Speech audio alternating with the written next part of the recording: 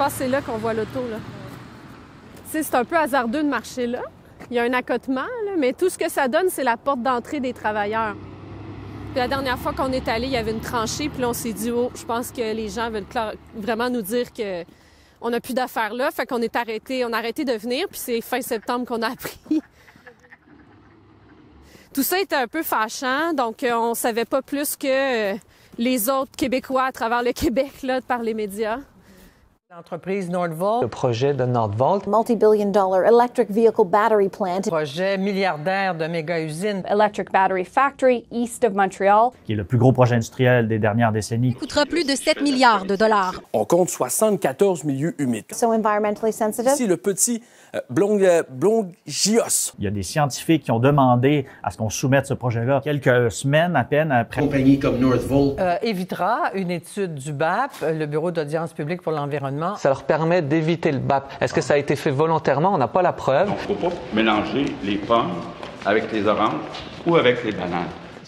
D'autres révélations qui nourrissent un climat de méfiance. More protests against the way the government has handled the Northvolt project. Plusieurs appellent à la transparence, mais c'est une majorité de Québécois. Il y a une euh, pétition pour demander un BAP qui est en version papier ici. Euh, vous pouvez nous suivre sur Facebook. On a une page publique, euh, Projet Vote, information, discussion. Et si vous avez envie de vous impliquer comme citoyen, nous avons une feuille aussi à l'avant pour mettre vos coordonnées. Donc, voilà. Le comité Action citoyenne, Projet Nordvolt, veut simplement qu'il y ait un BAP avant le début Idéalement, ça aurait été avant qu'ils commencent à préparer le terrain. On a demandé ça bien avant qu'ils commencent, mais bon. Euh, il manque de transparence, il manque d'informations. Ça nous a été présenté comme un fait accompli, je vous l'ai dit. Donc, euh, ça, on est contre cette façon de faire. Personnellement, mes inquiétudes comme citoyenne touchent les, tous les facteurs possibles. Euh, oui, environnementaux, là, mais sociaux, économiques. Mais c'est sûr que la drive, il y a toujours une drive émotionnelle derrière, je trouve, un, mouvement citoyen comme ça. Ben, c'est le terrain qu'on connaît personnellement.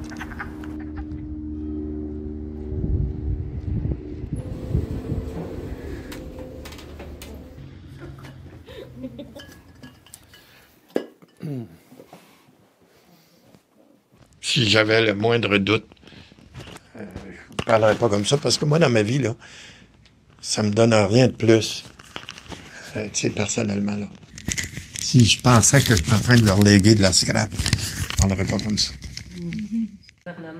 Ce type de projet-là amène toutes sortes de réactions euh, chez les gens. Donc, spontanément, certaines personnes vont être enthousiastes, euh, d'autres vont être inquiètes, d'autres vont avoir peur. Donc, il y a vraiment là une très, très grande variabilité dans la gamme d'émotions.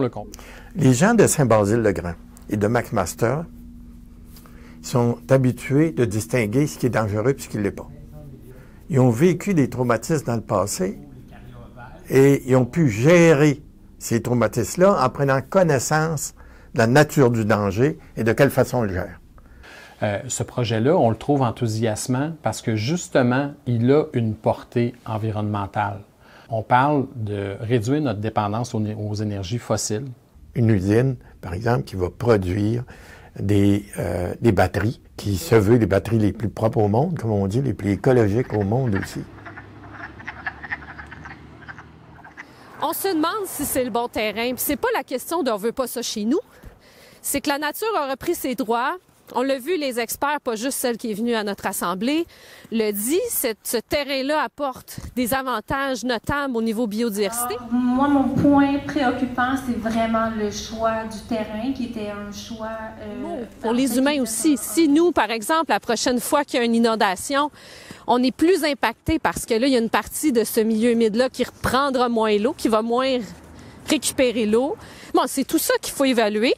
Euh, il n'y avait pas d'autre emplacement au Québec la terre sur lequel, le terrain sur lequel Nordvolt va s'installer, puis qui va développer son industrie, c'est des terrains qui ont été décontaminés.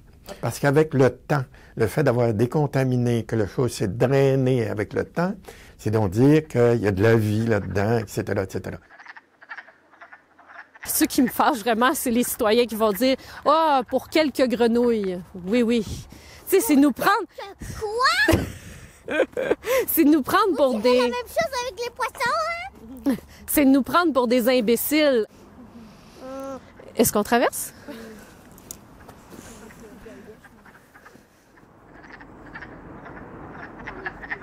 Oui, c'est ça que j'aimerais qu'on protège. Antoine voulait son moment, je pense. Il dit, c'est quand que ça va être à moi? Ah oui? Ouais. T'as-tu envie de dire quelque chose, Antoine? C'est quoi tes animaux préférés? Euh, les poissons, Mhm. puis les grenouilles. Ouais. On le sait qu'il y a des chevreuils, mais on, a- on a vu un se sauver une fois. Euh, non, on l'a entendu, on l'a pas vu. Même moi, il y a une fois, je l'ai vu. Je sais pas tout le temps avec toi. Est-ce que tu comprends pourquoi ils veulent faire ça Pourquoi ils veulent faire une grosse usine là Ben, je sais pas. Je l'aurais plus fait dans un terrain euh, qui aurait moins de nature. Il y a un, éco- un économiste en janvier qui a sorti un article similaire à M. Lorrain. Ils travaillent pas ensemble, eux autres, là, mais la même critique de dire euh, à la base, c'est pas un bon choix au plan économique.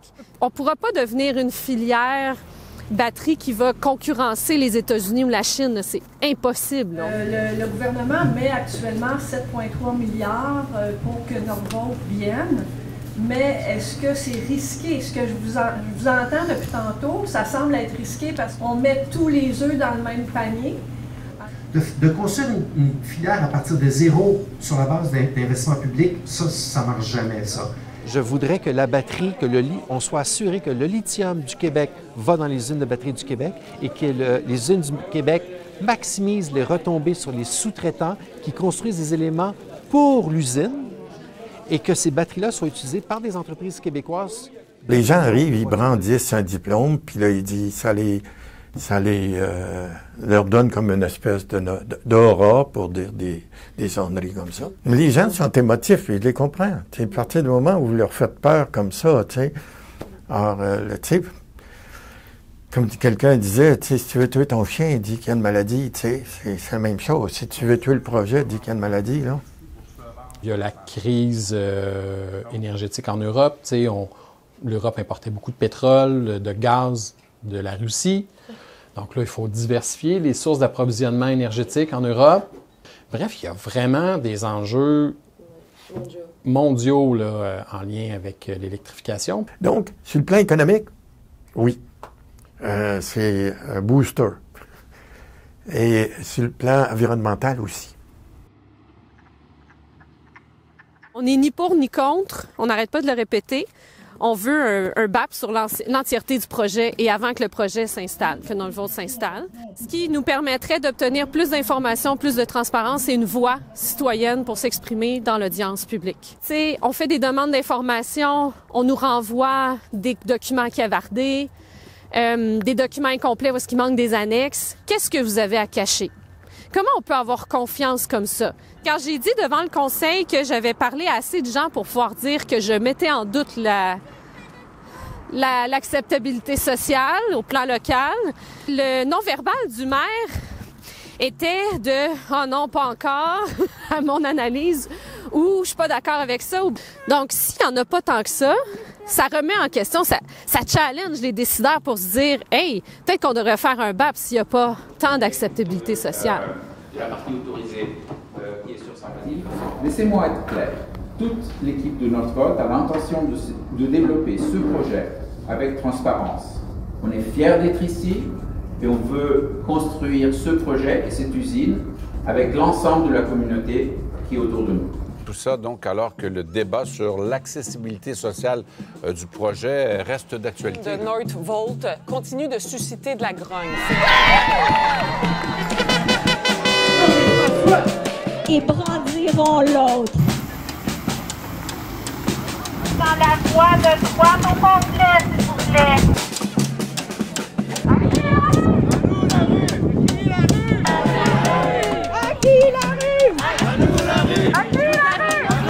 La saga Nordvolt continue. Notre collègue Thomas Gerbet nous apprenait aujourd'hui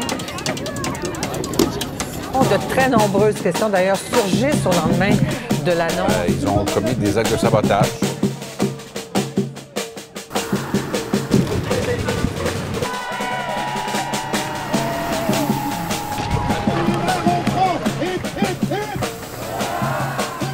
Depuis des mois, le gouvernement nie avoir permis aux mégaprojets de passer par un processus d'autorisation accéléré. De modifications réglementaires apportées en février dernier. Ça leur permet d'éviter le BAP. Est-ce que ça a été fait volontairement? On n'a pas la preuve. Le ministre de l'Environnement, là, qui a Clément avoué... Charette euh, admet avoir euh, permis à, à, Nor à Northvolt, dans le fond, d'éviter la tenue d'un BAP sur, un- sur son projet d'usine. Puis euh, Ouais. il dit que La première fois que j'en ai entendu parler, c'est C'était le 10 février. en novembre 2022. En fait, euh, et, je pense, je n'ai pas la date exacte en tête, mais je pense que c'est mi-2022. Il est reparti euh, à Ottawa, on ne sait pas exactement ce qui s'est passé, mais euh, ensuite le Canada a annoncé qu'il mettait en place un plan euh, de, euh, de matching de, de On en fait combien? Deux. Trois. Bien, Antoine.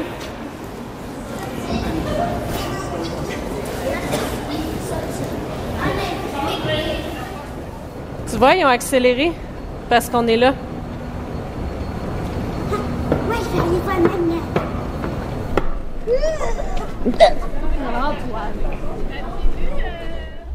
OK, bye. Des gens impliqués là, dans le comité et les collaborateurs bénévoles autour, clairement plus des femmes. Ça, j'ai de la misère à le comprendre, je, je sais pas. parti là-bas, il était 11h30. J'étais arrivée chez nous, il était presque minuit, 11h45. Et tu travaillais le lendemain, là? Ben oui, je travaillais le lendemain. Capacité pas si mal, je trouve. euh, tu sais, euh, Vraiment. dans l'auto, puis euh, je me dis, OK, OK, tu sais, je- je- j'essaie de laisser tomber, puis euh, je me couche, puis euh, je m'endors. Toi, c'est une force que t'as parce que euh, moi, j'arrive, puis euh, là, ça me roule, puis euh, c'est ça. Tant mieux, tu sais. C'est pas facile, là. C'est pas facile. Ça vient nous chercher, puis... euh, Mais que je me trouve pas pire. Mais les assemblées, c'était trop. Ouais. Parce que on dirait que ça, ça m'obligeait, mais je n'étais pas obligée, ça m'obligeait à être fâchée. Dans- je voyais une énergie d'opposition. J'étais comme, quand tu sais, moi, je travaille bénévole là, pour, pour faire que ça aille bien, tout est là. Ouais, ouais. Toi, t'as juste ça à faire. Dans ton Ouais. cerveau, c'est de la merde. Ouais. Ouais. pourquoi il faut que je fasse un effort de démontrer avec des arguments logiques alors qu'on le sait tous que c'est comme. Tu sais, après on joue, c'est- pour moi c'était juste une grosse game de. Ah ouais. De mots, de... Mais dans mon fort intérieur, j'aimerais ça qu'on soit rendu ailleurs. Ben oui, c'est sûr, mais. euh, Qu'on partage les autos entre nous, parce que...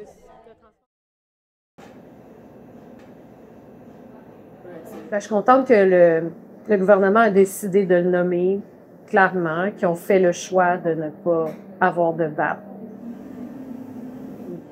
J'avais peut-être un peu de naïveté avant ça. Je savais qu'il y avait de la mal- malhonnêteté dans le gouvernement. Pas à ce point-là. Pas à ce point-là. Je suis partie de quand même pour le projet au début à j'ai besoin de plus d'informations pour savoir si je suis pour à contre.